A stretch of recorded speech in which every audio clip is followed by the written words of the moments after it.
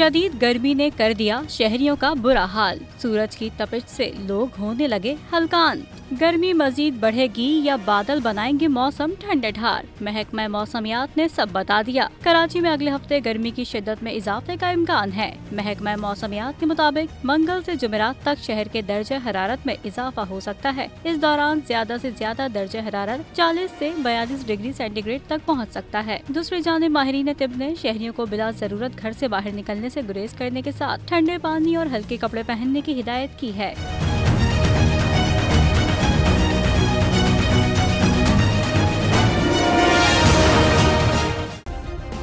Subscribe करें और bell दबाएँ ताकि कोई खबर रह न जाए।